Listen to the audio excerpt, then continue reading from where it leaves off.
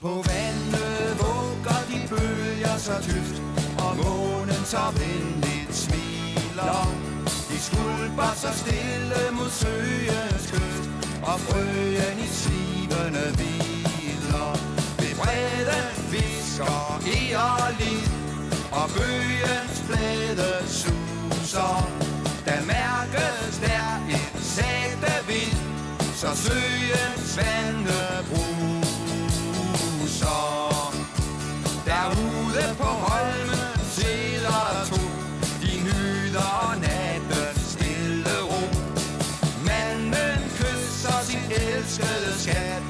Tilbringer sammen den mørke nat. Himlen stjerner skældsalerer Og hele naturen på dem ser.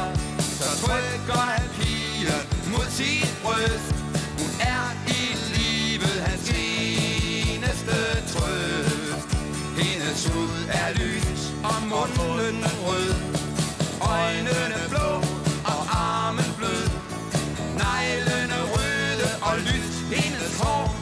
Skønne ben og smukke lår. Nu lægger de sig sammen. Natur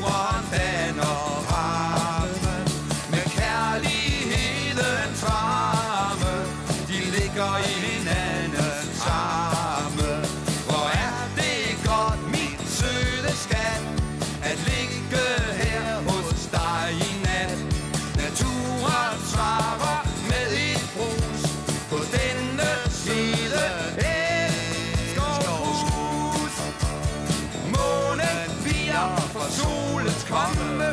Nattens mørke tid er omme.